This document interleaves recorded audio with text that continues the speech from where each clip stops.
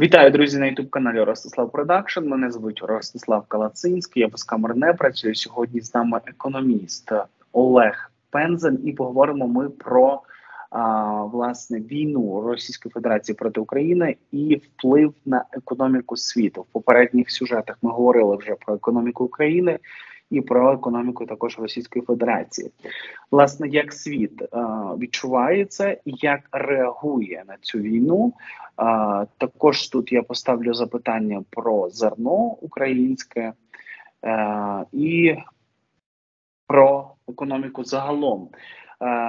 Щоб українці зрозуміли більше, так власне питання зерна і ця програма Grain from Ukraine, яку зараз е, зініціював е, офіс президента Володимир Зеленський, також так Е, що вона означає для світу? Тобто від від зерна залежало там, чи буде хліб, так, чи буде їжа в Африці.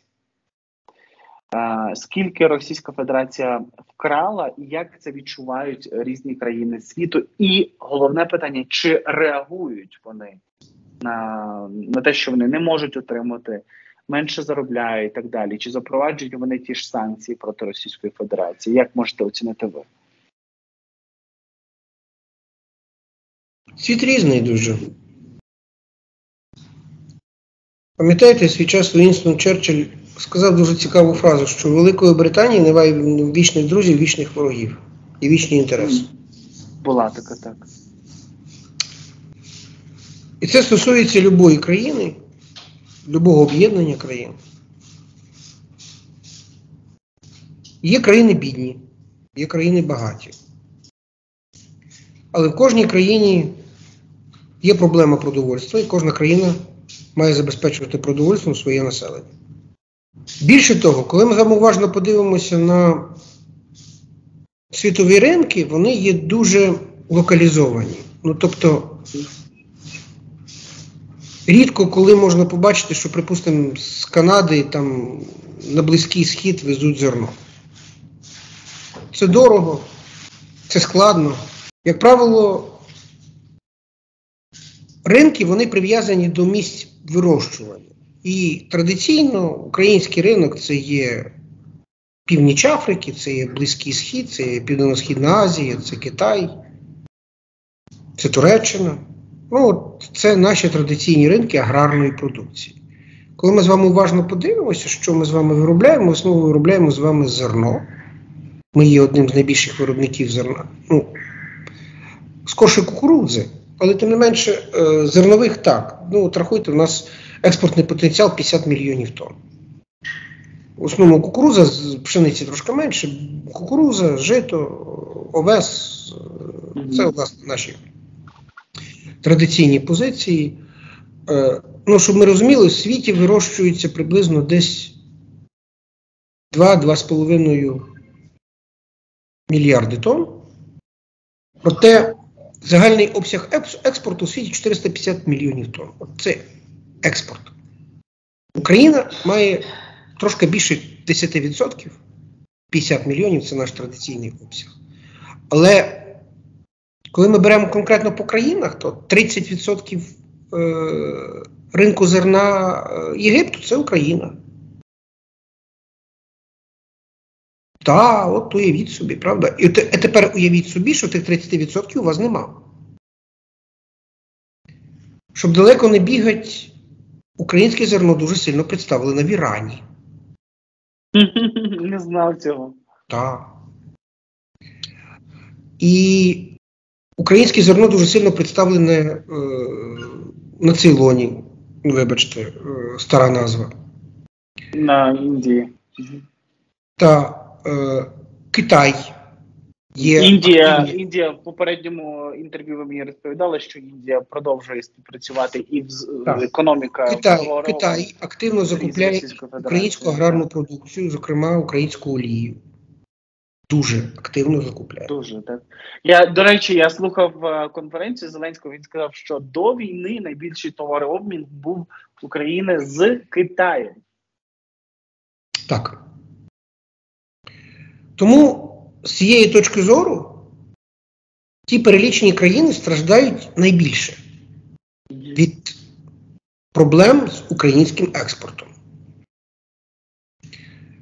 Тобто, здавалося би, теоретично, вони мали би бути найбільшими, найбільш активними борцями за відновлення територіальної цілісності і незалежності України. Здавалося б. Здавалося б, так. Ще один момент. Власне, я вже почав говорити, що в світі є багаті країни, є бідні країни. Дивіться, е, в чому є власне питання оцієї різниці між багатими і бідними. За грубі гроші вам зерно привезуть з будь-якої точки світу. Тобто, якщо ви готові платити великі гроші, то у вас в країні завжди буде продовольство. Але якщо ви платите великі гроші за продовольство, то ви таким чином формуєте світову ціну, яка є дуже висока. І з'являються такі країни, які ніби знаходяться рядом біля вас, які за таку ціну продовольство купляти не годні. Їх населення бідне.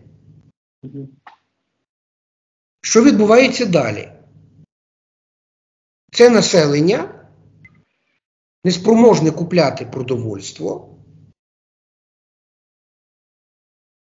або починає міняти політичну систему в тих країнах, де воно живе, тобто починають виникати е, повстанці, починають виникати революції, починають виникати кровопролиття. Або масово це населення починає бігти в багаті ситі країни. Тобто це те, що називається нелегальна міграція. Тобто для ситої заможної Європи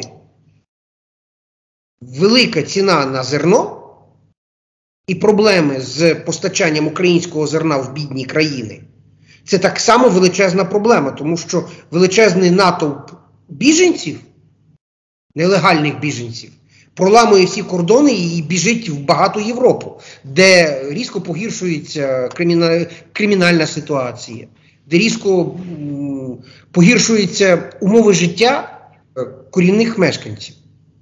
Тому сказати, що от проблема із е, високими цінами на продовольство це проблема бідних країн, ні, це проблема всього світу. Е, Проблеми з вивозом українського зерна зачепили 1,4 мільярда людей на землі. Це офіційні цифри Організації Об'єднаних Націй. Е, 30% е, зернової програми Організації Об'єднаних Націй завжди фінансувалося за рахунок, е, наповнювалося за рахунок українського зерна. Е, тут ще один такий момент, який треба розуміти. На отих традиційних ринках Україна завжди конкурувала із Російською Федерацією. Російська Федерація теж є експортером зерна. Хоча вона більше експортує пшеницю, а ми кукурудзу. Але тим не менше на цих ринках ми конкурували завжди і е, Російська Федерація на сьогоднішній момент таким чином знищує свого конкурента. Це однозначно е, ну, перетворюючи хотіла знищити і знищувала там століттями, але не знищить, але не вийде. Ні, ну дивіться, ми ж говоримо динамічну ну, ситуацію. Так. так, так. Е, Єдиний момент, що треба зрозуміти, що е, оця ситуація вона дуже сильно непокоїть ті країни, які напряму залежать від поставок українського зерна. Так, я розумію. І, Дивіться, і коли ми з вами дивимося на е, протидію, ну от е, оті так звані зернові, оті так звані зернові коридори, та, так звані зернові коридори. Росія в них присутня сьогодні чисто формально, і коли Росія тільки спробувала з них піти, Туреччина дуже просто і легко сказала: чекайте, ви можете йти куди завгодно. Е, прохід зернових е, караванів буде забезпечуватися воєнно-морським флотом е, Туреччини. Туреччина на сьогоднішній момент, окрім того, що вона залежить від українського зерна, вона ще і стала великим зерновим українським хабом. Е, за 25% від вартості. Тобто е, на сьогоднішній момент е, зиск, так? Тобто так, турки перепродають, турки перепродають українське зерно. Так. І треба розуміти чітко, що так воно є в дійсності. Я в шоці. І е, Ердоган тільки шукає зиск для себе від України. Ні, ну чекайте, його поведінка, його він не просто шукає зиск, він хоче бути ще в даній ситуації регіональним лідером. Він трошки по-інакшому дивиться на весь цей процес. Він шукає зиск не просто для своєї країни, він хоче бути е, ну, дуже авторитетним в цьому регіоні людиною. А що може створити вам такий авторитет? Наявність достатньо великих запасів продовольства. Хоча, е, дивіться, е, коли ми беремо реальну дійсності структуру експорту українського зерна, то е, третина українського зерна йде в Європу. Третина. Ого, багато. Ну так, ну так у нас ще й давно казали, що Україна це житниця Європи, так?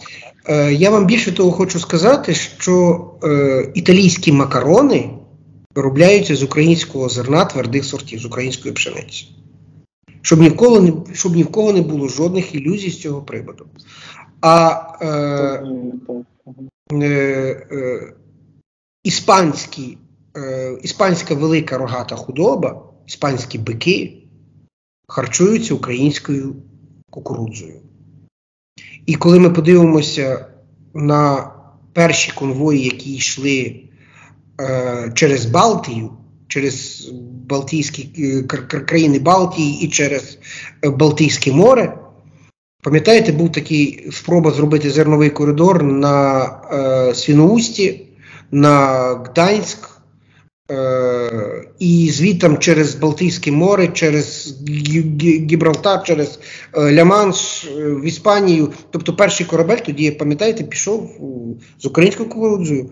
І покупцем, власне, була велика, достатньо потужна іспанська фірма, тому що, власне, українська кукурудза на сьогоднішній момент є основним, скажімо, інгредієнтом для формування комбікормів в е, Іспанії, які власне є основою для харчування великої рогатої худоби. Ну, Тобто світ дуже сильно він дуже сильно зав'язаний і дуже сильно він такий і внутрішньо інтегрований. Коли ми з вами говоримо про є таке поняття е, глобалізація, то це в реальній дійсності не слова. За ними стоять реальні інтеграційні процеси і е, реальне місце України у світовому поділі праці. Так, розумію. І ще, крім от зернових, е, економіка України найбільші доходи. Е, від чого отримуємо, і наскільки ну, аграрний сектор це? аграрний сектор до початку активної фази бойових дій давав десь порядку 36% е, українського експорту. 36-37, зараз більше 50%. Угу. Залізна руда Продукція металургійної промисловості це був другим великим блоком, який Україна власне торгувала. Але з цими питаннями є дуже велика проблема. Ми втратили е, два величезних металургійних комбінати Ілліча і Азовсталь. Є величезні проблеми, практично зупинився Арселор Мітл Кривий Ріг, тому що він знаходиться в безпосередній близькості від зони бойових дій. Наскільки я знаю, позавчора туди були прильоти безпосередньо на виробничу площадку ArcelorMittal. Е, Дніпровські металургійні комбінати, які на сьогоднішній момент працюють, е, вони теж працюють по суті під небезпекою обстрілів, і там є свої величезні проблеми. Ну і просто треба згадати, що е, порти Чорного моря, порти Миколаївські це були зернові порти. Е, Порт Маріуполя це був металургійний порт. Тобто повністю вся металургійна відгрузка йшла через Маріуполь. Тому вкрай є важливим для України відновити е, континентальну цілісність і повернути собі, власне, е, порти Бердянськ і ну, Бердянськ менший, в меншому плані він такий маленький портик, а от Маріуполь є величезним портом, дуже серйозним. Хоча, безперечно, е, коли ми з вами говоримо про економіку і взагалі про все останнє, е, Україна ж втратила в Криму рибні порти. І відновлення української юрисдикції над Кримом поверне Україні рибні порти. Це в дійсності надзвичайно важливим. І я абсолютно впевнений, що рано чи пізно Україна відновиться в межах 91-го року. Воно по-інакшому просто не, не може бути. Коли це буде можливо по вашим спостереженням? Ви знаєте, я вам хочу сказати наступне: Е, ті процеси, що зараз відбуваються, вони дуже подібні до тих процесів, які були в період розпаду Радянського Союзу. Давайте ми з вами згадаємо, що було ну, набагато простіші, набагато легші санкції. Тоді пам'ятаєте, коли Росія, Радянський Союз зайшов в Афганістан, весь світ е, ввів проти Радянського Союзу достатньо жорсткі санкції які по суті справи підштовхнули економіку Радянського Союзу до загального занепаду. Е, то, що сьогодні відбувається з Російською Федерацією, в 10 разів важче.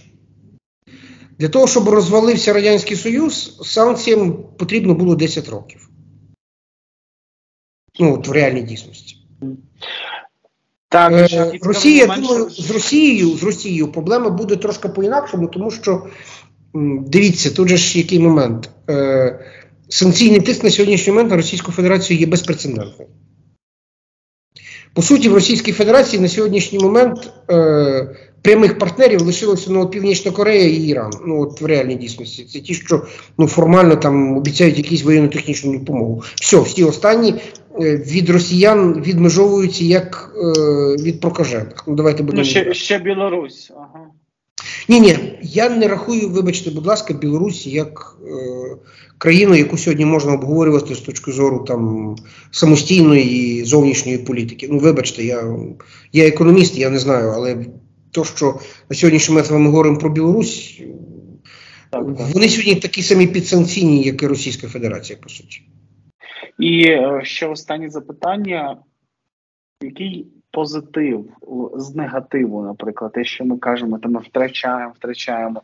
Можливо, за, за час війни з'явилися нові компанії, якась нова новий е, дохід. Е, який до початку повномасштабного вторгнення ну не розвивався, ну це можливо військова промисловість і так далі. От е, з чого ви знаєте, на сьогоднішній момент говорити про якісь економічні здобутки навряд чи варто. Я би сказав дещо по-інакшому. Е, докорінно змінилося бачення майбутньої України. От з цієї точки зору дійсно дуже серйозні зміни відбулися. Я думаю, е, власне, що ті зміни відбулися в першу чергу в психології як і людей, так і влади. Е, на сьогоднішній момент ні в кого не викликає жодного, жодного сумніву і е, євроатлантичний, і європейський вибір України. Тобто, це вже на сьогоднішній момент є е, позицією всього українського народу. Тобто, раз. Друге, є абсолютно чітке бачення, е, як і в якому напрямку має розвиватися Україна в майбутньому. Так, це є питання дискусійні, але тим не менше. Дивіться, в нас повністю змінилася парадигма е, відношення до українських збройних сил. Так. У нас змінилися абсолютно серйозно підходи до українського озброєння. Ну, я напевно ні для кого не розкажу великої таємниці, але до 22-го року Україна е, не змогла побудувати на власній території е, заводу по виробництву стрілецьких набоїв. Ну, немає його в нас. Той Луганськ патрон, який лишився в Луганську, він лишився. Все. Тільки от зараз, е, тиждень тому, Україна нарешті об'явила про те, що вона відновила виробництво е, набоїв для е, великих гармат, там, по 152 мм. Ну, тобто, розумієте, коли ми з вами говоримо е, про українську промисловість і про українські підходи. Треба розуміти, що Україна буде абсолютно інакша, ніж та, що була до 24 лютого. і з точки зору, і з точки зору пріоритетів, і з точки зору побудови української промисловості. Так, це я розумію, і це вже очевидно нам теж усім. А ще е, уточнювальне запитання. Ви як економіст, ви сказали оці безпрецедентний вплив тиск і з 23-го року економічний крах прогнозується е, Російській Федерації. Я би сказав так, не економічний крах, а економічні великі проблеми. Добре, економічні великі так. проблеми. Але питання в мене: оці санкції, які були введені, їх ж не просто так знімати. Тобто, це Ні, дивіться, дивіться, дивіться, ситуація ж яка. Е, Я не вірю про те, що ці санкції взагалі навіть в теорії можна зняти в тій конфігурації Російської Федерації, яка є на сьогоднішній момент. Угу.